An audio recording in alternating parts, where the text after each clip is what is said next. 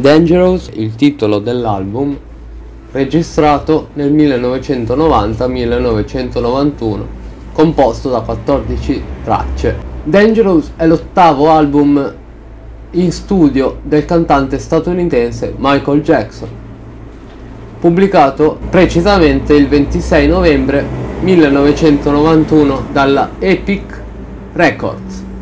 Segna un profondo cambiamento artistico per Jackson con questo disco. Abbandona il suo storico collaboratore Jones, che fino a quel momento aveva svolto il suo ruolo di produttore all'interno degli album. Off the Wall, Thriller e Bad e si affida ai produttori Bottrell e Riley. Quest'ultimo conosciuto come uno degli ideatori di, del New Jack Swing grazie a questo genere musicale che rappresentava una completa novità nel repertorio di Jackson. L'artista riuscirà a modernizzare i suoni e le melodie dei suoi futuri album. Prendendo nota dall'ufficialità, cito, la copertina Dangerous è un'opera surrealistica realizzata dall'illustratore Mark Ryden all'epoca esploratore di un nuovo movimento artistico che lui stesso definiva surrealismo pop.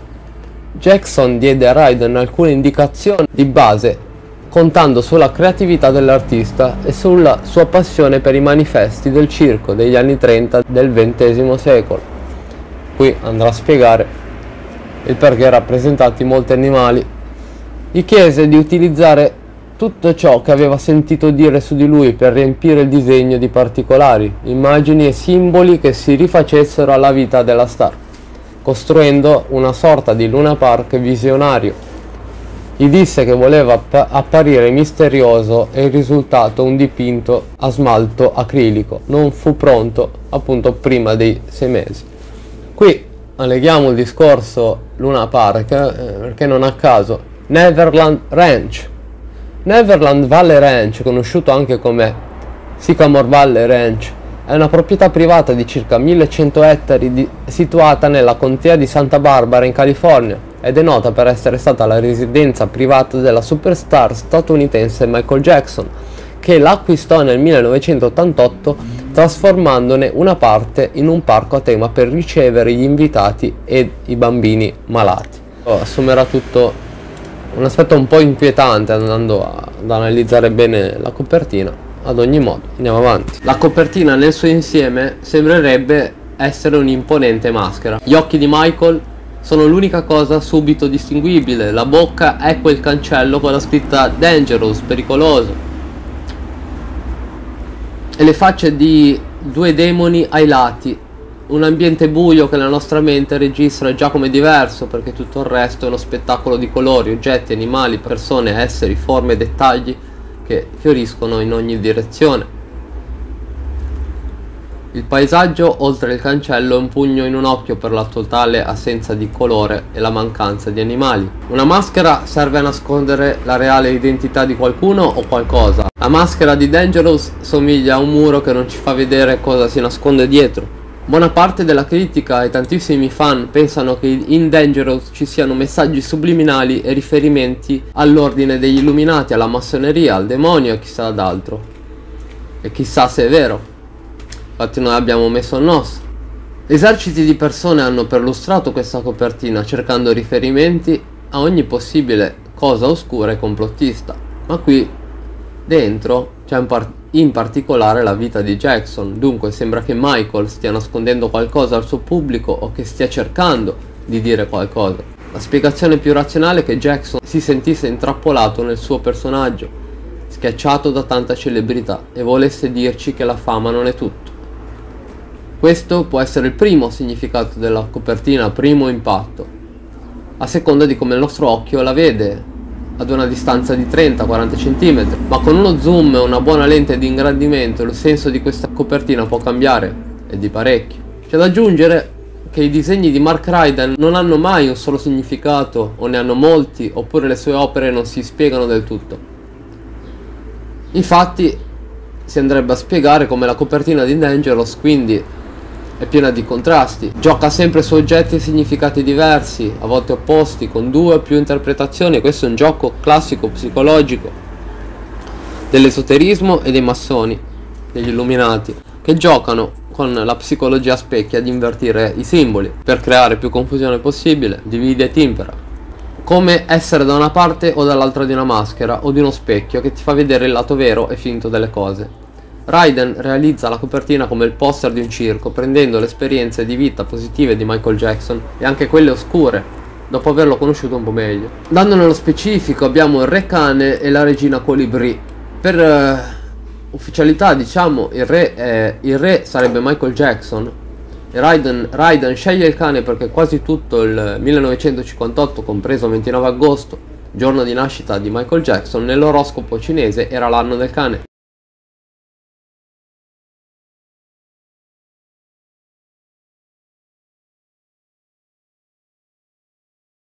Raiden simboleggia Jackson ispirandosi al dipinto di Ingress Napoleone I sul trono imperiale del 1806, la mano del re con lo scettro al celebre guanto bianco di Jackson. È interessante notare che lo scettro del cane ha la faccia di un colibrì alla sua estremità, mentre lo scettro della regina colibrì termina con il muso di un cane, quindi anche qui si vanno a scambiare i simbolismi. Ma va a significare un'altra cosa, cioè che ognuno influenza potere sull'altro, uno di fronte all'altro, maschio e femmina, mammifero ed uccello. Comunque sia, la regina è nella tipica posa che avrebbero Elisabetta o Vittoria nei ritratti di corte. Sotto il braccio sinistro tiene stretta una sfera molto simile al globo del sovrano d'Inghilterra, simbolo del potere di un monarca come difensore della fede o detentori anche, aggiungo, personalmente potrebbero essere anche detentori della, della conoscenza, del sapere occulto. I due animali diversissimi, opposti e i due scettri incrociati forse simboleggiano due forze opposte, in conflitto tra loro, ma che si controllano a vicenda per mantenere un equilibrio, il solito equilibrio dell'elite. Quindi l'elite è il pubblico nel mondo dello spettacolo o la popolazione contro i governi e le lobby, sarebbe un commento di Jackson su un mondo che lui conosce alla perfezione, l'industria dello spettacolo, oppure sul mondo in senso globale. Restando in compagnia del re e della regina, i particolari si fanno sempre più misteriosi. Alla sinistra del re c'è una scimmia con le ali da pipistrello. È posizionata ai margini, curiosamente anche lei sembra stia controllando qualcosa, in mano a due piatti. Questa creatura è un chiaro riferimento al romanzo Il meraviglioso mago di Oz di Frank Baum, nel libro le scimmie volanti sono esseri malvagi a servizio della malvagia strega dell'Ovest ed hanno un doppio significato di sottomissione. Un doppio significato, sì, ancora una volta un doppio significato. Il primo dominio lo esercitano loro con la forza nei confronti dei più deboli. Il secondo lo subiscono a loro volta da una forza superiore, la strega, nel romanzo di Baum. Questa creatura si serve del controllo ed allo stesso tempo deve temere quello degli altri, proprio come il re cane e la regina colibrì. Ai lati della regina due, due passeri aprono il vestito dei colibrì, come un sipario, per mettere in mostra il suo corpo fatto di ruote, dentate e ingranaggi. Il corpo meccanico può essere la personificazione del mondo industriale finto, inumano e pericoloso di Dangerous, ma può anche simboleggiare la maternità e la nascita di tutti gli uomini. Dal corpo dell'uccello infatti esce una specie di cordone ombelicale alla cui estremità c'è una bolla con le sagume di un uomo e una donna al suo interno, Adamo ed Eva, i primi due uomini secondo la Bibbia. A sinistra di questa bolla c'è la testa di un ragazzo con la pelle metà marrone scura e metà chiara. È un parallelo a Michael Jackson ed al colore della sua pelle che era cambiato nel, dal 1986, anno in cui gli fu diagnosticata la vitiligine, una malattia che distrugge la pigmentazione della pelle. Dalla corona della regina spuntano cinque angeli bianchi in fila che volano verso uno degli uccelli rivelatori della regina colibrì. Il primo angelo sembra distendere un braccio per fermarlo o per aiutarlo, impossibile saperlo.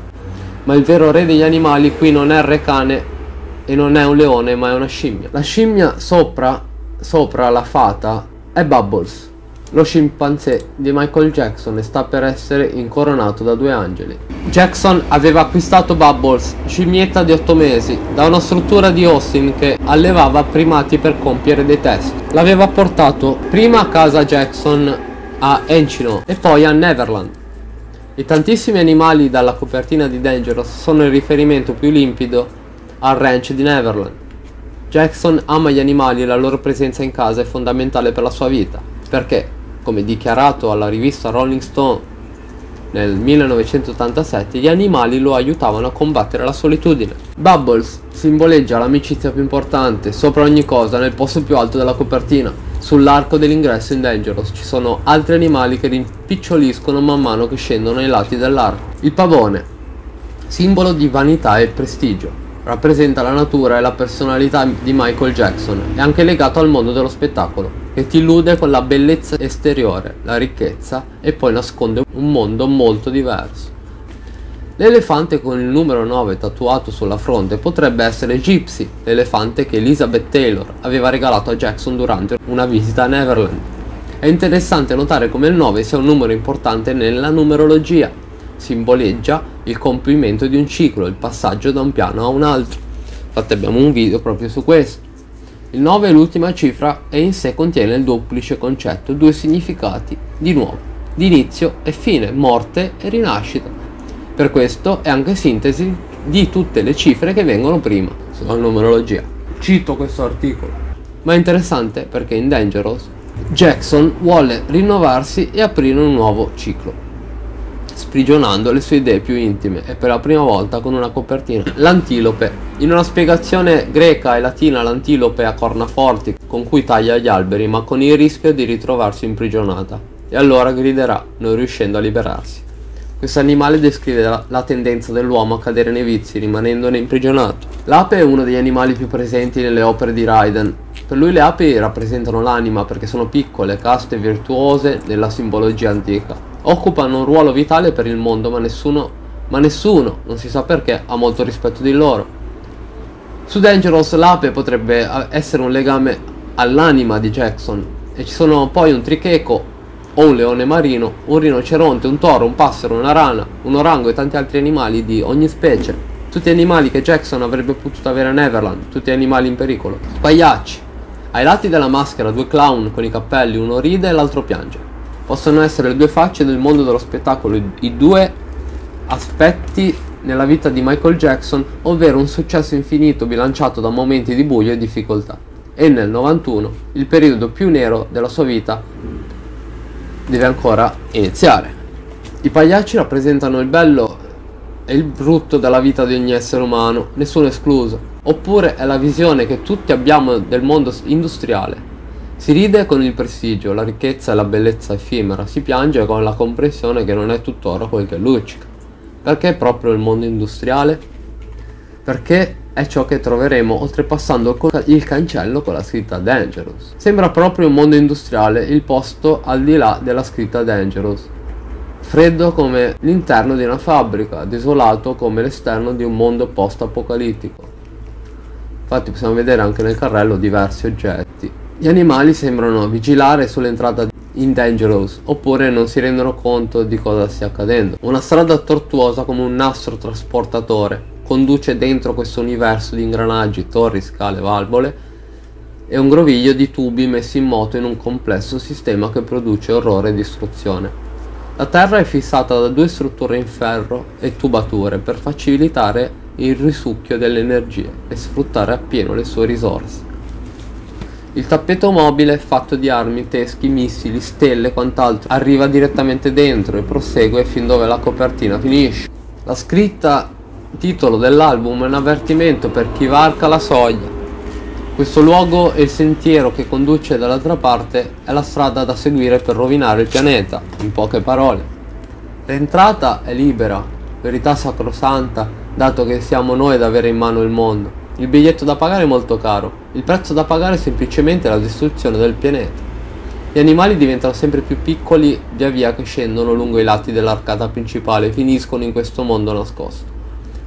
Entrano a sinistra su una giostra mortale simile alla ferrovia di Neverland, non a caso. ed escono a destra, morti, scheletrici e risucchiati de- dell'anima e di ogni energia vitale dopo un percorso invisibile. Gli unici a uscirne indenni da Dangerous sono il piccolo Michael Jackson vestito come ai tempi dei Jackson 5 e l'attore Kalkin, il bambino biondo con una M sulla maglietta, protagonista del video di Black or White. A mio parere il tetro percorso dentro J- Dangerous, dietro la, la sua rassicurante facciata esterna, è il significato centrale di tutta la copertina e ci sono almeno tre messaggi che Michael Jackson può dare. La visione più generale da noi al mondo, lo sfruttamento della terra, degli animali, la società capitalistica e industriale ed il loro inesorabile meccanismo di autodistruzione. Sembra metterci in guardia sulla direzione che sta prendendo questo mondo e voleva dirlo.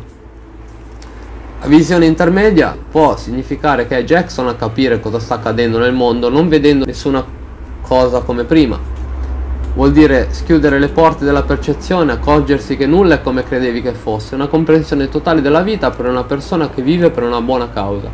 Una strada difficile da percorrere, come la via che conduce in Dangerous. Quando in ogni dove vedi morte, inganni, distruzione, ingiustizia provate dai governi e messe in vetrina dai media.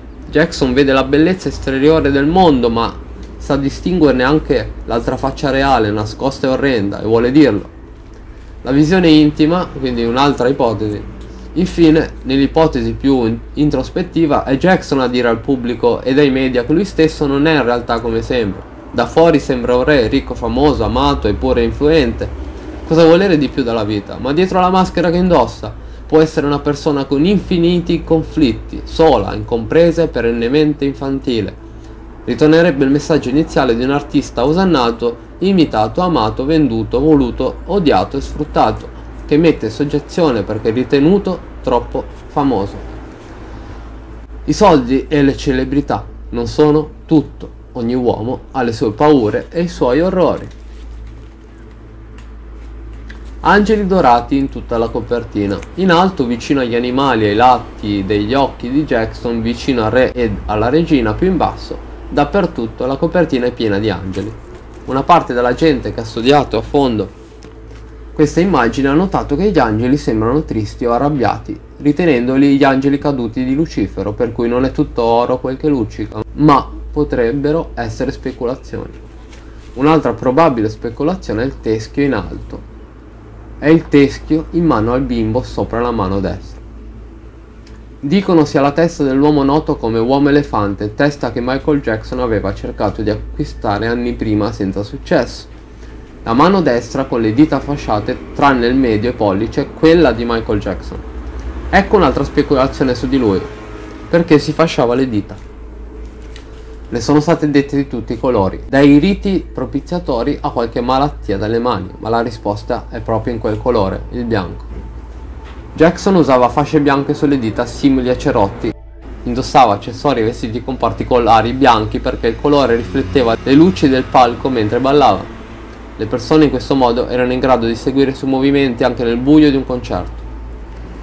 Sopra la sua mano c'è un bambino nero, forse simbolo della sua infanzia, portato su un palmo di mano oppure riferimento all'evoluzione sinistra, sul muro dell'arcata, puoi vedere il tipico teschio pirata a tibie incrociate, un simbolo di pericolo opposto all'entrata della giostra.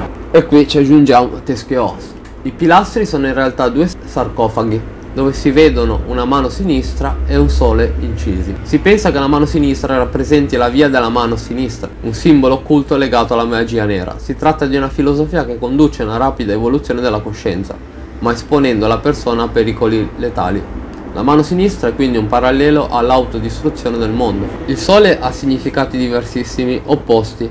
Anche lui può essere legato a Dio o a Lucifero, o a Nimrod meglio. Nel sarcofago a destra c'è il simbolo della pace, più a sinistra è visibile una sagoma di Michael Jackson con gli occhiali da sole, sotto il pentagramma. In questa marea di simboli, animali e cose a metà tra segreto e mistero c'è anche una persona reale. Barnum, Molte fonti riportano che quel signore calvo in giacca nera e camicia bianca sarebbe l'occultista Aleister Crowley, ma potrebbe anche essere Taylor Barnum. Qui vi porto una foto Si nota una certa somiglianza tra una sua foto reale e l'immagine di In Dangerous e poi quando dici Barnum dici circo.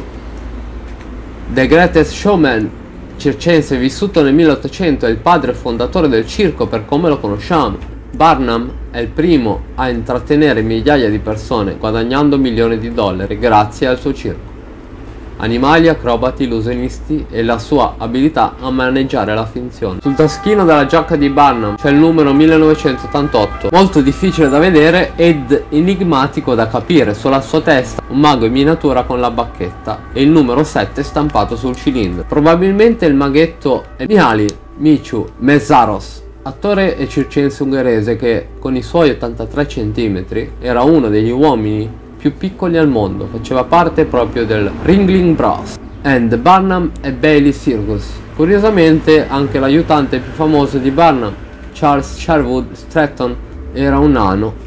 Barnum faceva parte dell'ordine dei massoni. È il secondo indizio dopo l'occhio che tutto vede. E tre indizi fanno una prova, quindi ne mancherebbe solo uno. Ricordiamo che l'occhio che tutto vede è il principale marchio dell'ordine dei massoni clown, animali, circensi e maghi, tutti impegnati in uno spettacolo. Gli spettacoli di questo tipo sono nati per distrarre il pubblico da una realtà triste, a volte terribile. La comicità e per estensione il circo nasce come rito contro la sfortuna, poi per ottenere favori da Dio e in ultima per far trascorrere un momento piacevole al pubblico, schiacciando i problemi della vita almeno per qualche ora. Qui in Dangerous sembra accadere la stessa cosa.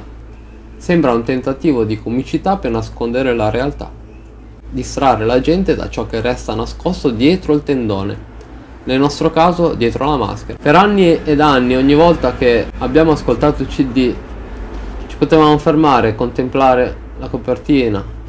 Che diavolo voleva dire? Ora potremo avere le idee più chiare. Dangerous è come entrare in un paese dei balocchi, progettato dallo stesso Michael Jackson, costruito da Mark, Mark Ryden, fatto apposta per tutti noi. Annesso a quella sorta di tapirulan che porta al mondo rovesciato, vediamo trasportati diversi oggetti raffiguranti appunto simboli negativi come armi, teschi, missili nucleari. Questo mettiamola come ipotesi, un aspetto significativo riguarda la struttura d'arcate presente nel centro della copertina che ricorda dal punto di vista architettonico la fontana di Trevi a Roma, con la presenza di un altare. Seppur in modo mascherato, alcuni ricercatori che hanno analizzato la copertina dicono che si è raffigurato il numero 101 che rappresenta il codice binario della realtà, ossia la parte occulta nel, del mondo in cui viviamo, che sembra non essere libero ma controllato. Infatti l'altare, presente anche nella religione cristiana, simboleggia il sacrificio e quindi l'impossibilità di vedere la realtà nell'aspetto vero. Probabilmente si tratta del messaggio più diretto verso gli illuminati e soprattutto verso lo stesso pubblico in riferimento ad essi. I numeri 1 sarebbero i pilastri, lo 0 la parte circolare al centro. Particolare inquietante la presenza di animali che entrano nei vari ambienti per uscirne morti, con l'esclusione della figura di un giovane Jackson insieme al suo amico fraterno Kalkin. Continuando nell'analisi del contenuto della cover, sotto lo sguardo di Michael, figura esserci un elefante, la figura sacra Ganesh, con una zanna spezzata che nella religione induista rappresenta la capacità di superare ogni dualismo. Infatti si parte dal presupposto che la realtà sia suddivisa in due elementi che non riescono a interagire casualmente l'uno con l'altro. Inoltre in una mano sorregge appunto lo scettro del re cane e nella mano opposta lo scettro della regina Martin Pescatore. A sinistra del re cane ecco un cupido che guarda quattro pesci simboleggianti le quattro stelle principali della costellazione dei pesci. Questa parte di copertina sarebbe stata fatta secondo l'ispirazione della mitologia greca. Torniamo a Barnum, che indossa una spilla sulla quale è scritto il numero 1988, con una freccia e tre zeri. Dividendo il numero 1988 per il numero 3 otteniamo il numero 666, ovvero il numero dell'anticristo, una rappresentazione grafica delle molteplici chiavi di lettura che probabilmente non ha mai esaurito di celare ben altri messaggi subliminali.